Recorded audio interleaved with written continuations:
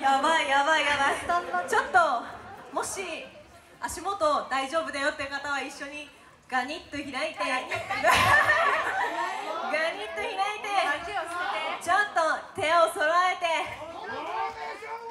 そのまま前に。その状態で皆さん一緒に待っていただければなと思います。周り傘の方もいるので皆さん怪我だけは気をつけてください、はい、それでは続いての曲お待ちかね聴いてください。